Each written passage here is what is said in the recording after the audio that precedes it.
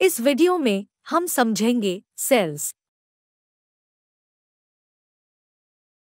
जब Robert Hooke Coke की एक थिन स्लाइस को एग्जामिन कर रहे थे, तब उन्होंने ये पाया कि कोक का इंटरनल स्ट्रक्चर, हनीकोम के स्ट्रक्चर से रिजेंबल करता है। हुक्स ने ये ऑब्जर्वेशन 1665 में सेल्फ डिजाइंड माइक्रोस्कोप से किया था। रॉबर्ट हुक इसे सेल बॉक्स कहते थे। सेल शब्द का इस्तेमाल स्ट्रक्चर यूनिट्स को मेजर करने के लिए किया गया, जिसे आज भी बायोलॉजी में यूज़ किया जाता है। आइए अब जानते हैं सेल के बारे में। एनिमेशन में हम देखते हैं कि अनियन का एक छोटा टुकड़ा लिया गया है। अब फोसेप्स की मदद से अनियन की टॉप लेयर को छीलेंगे।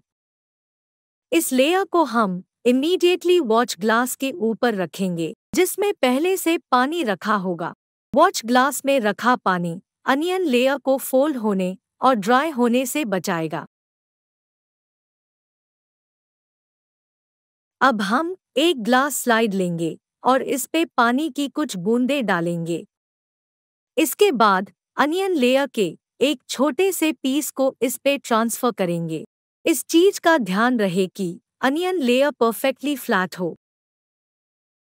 अब हम इस अनियन लेयर पे सैफरन सोल्यूशन की कुछ बूंदें डालेंगे और इसे कवर स्लिप से प्रोटेक्ट करेंगे। ध्यान रहे कि जब हम कवर स्लिप को अनियन लेयर पे रखें तो इसमें एयर बबल ना बने। अब हम इस ग्लास स्लाइड को कंपाउंड माइक्रोस्कोप से ऑब्ज़र्व करेंगे।